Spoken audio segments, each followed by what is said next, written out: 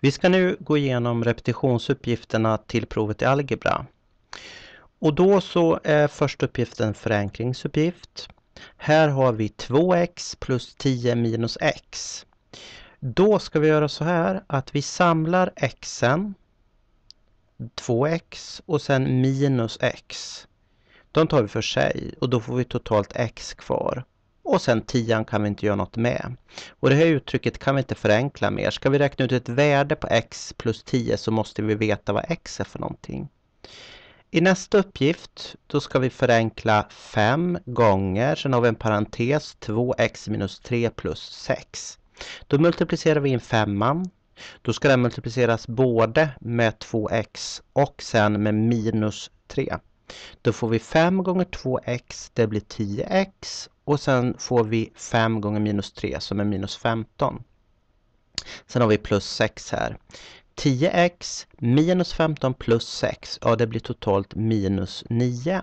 För att minus 15, det är alltså minustecknet framför 15 tillhör 15. Så att lägg, tar man minus 15 plus 6 så får man minus 9. I nästa uppgift då har vi både x och y som variabler. Då har vi 10x minus 4 och sen har vi en parentes y minus 3x. Då börjar vi med att multiplicera in 4 här. Om vi multiplicerar in 4 så får vi 4, äh, 4y. Eh, sen så multiplicerar vi in den 4 på minus 3x. Men vi har ett minustecken framför också. Så att vi får minus 4y. Men sen har vi ett minustecken framför 4 och ett minustecken framför 3x. Då blir det minus gånger minus, alltså blir det plus 12, 12x. Sen nu lägger vi ihop x för sig och y för sig. Här har vi 10x, här har vi 12x. Då får vi totalt 22x. Sen har vi minus 4y plus y och då måste man komma ihåg att minus 4 det tillhör det här y. Så minus 4y plus y det blir totalt minus 3y. Sen kommer vi in på andra gradersekvationer. x i kvadrat är lika med 64. Då ska vi alltså dra roten ur 64. Då får vi reda på vilket tal som gånger sig självt blir 64. Och det är ju 8. Men vi måste komma ihåg att skriva plus minus 8. För att även minus 8 är en lösning. Och det kan vi snabbt kolla genom att minus 8 minus 8, jag tar det på GraphCalc, minus 8 gånger minus 8. Ja, det är 64 för att lika tecken ger ju plus. Då kommer vi till nästa uppgift och då har vi den här ekvationen 3 gånger x uppe till 4 är lika med 360. Och alltid när man har en trea här framför det man vill bestämma, x då ska man alltid börja med att få bort den. Så det här kan man jämföra med att det hade stått 3x är lika med 360. Då hade man ju delat med 3. Men det gör man även om det står x uppe till 4. Då får vi att x uppe till 4 är lika med 120. Sen så ska vi ta fjärde roten ur 120. Sen måste vi komma ihåg att det är plus minus. När vi har x upphöjt till 4 blir det också plus minus. Jämt när vi upphöjer till en eh, jämn exponent, alltså en exponent som är delbar med ehm, äh, 2, så blir det alltså, får vi även den negativa lösningen. Så då tittar vi här. Eh, fjärde roten ur, det är samma sak som att dra roten ur två gånger eller upphöja till en fjärdedel. Tar vi 120, vi upphöjer det till en fjärdedel. Så, och då får vi så mycket som 3,0975. Vi skulle avrunda det här till två decimaler stod det uppgiften. Svara med två decimaler. Så att då avrundar vi det här då till plus minus 3,31.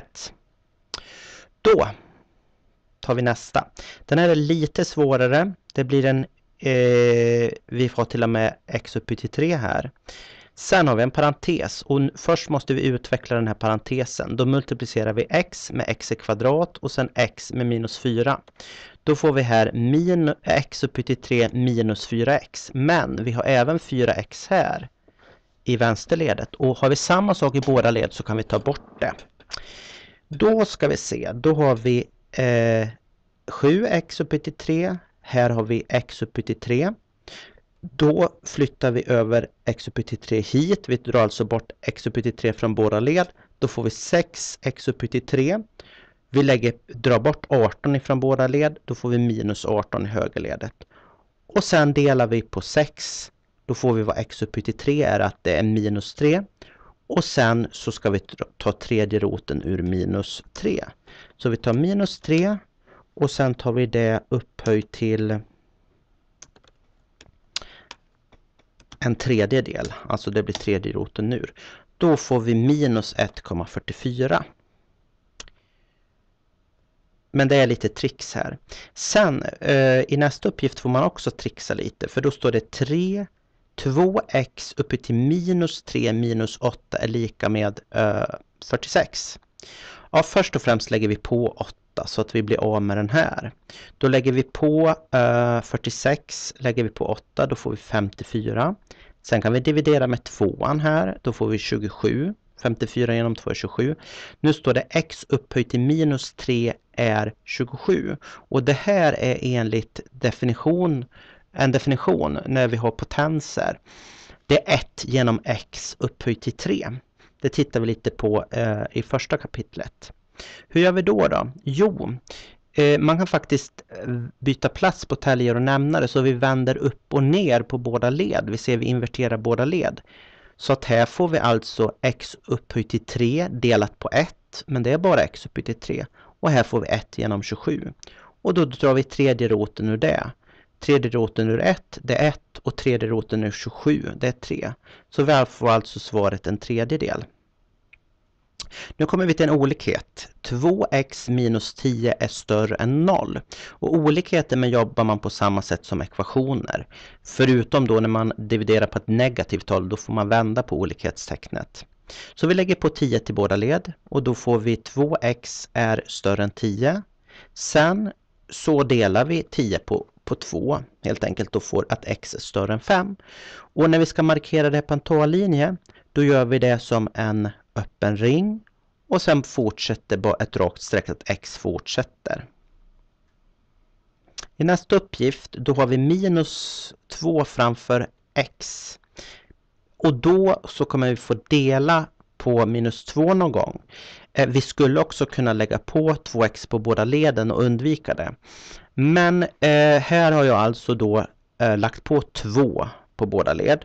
Så att jag får minus 2x är större än 6. Nu måste jag dela båda led på minus 2 och då måste jag vända på det här olikhetstecknet. För om minus 2 gånger x är större än 6, ja, då måste x vara ett mindre tal än minus 3. Så det är jätteviktigt här att man, och det kommer jag förklara lite mer på lektionen sen också varför det är så. Då gör man en öppen ring. Sen ska x fortsätta bakåt från minus 3. Så man markerar den olikheten så här.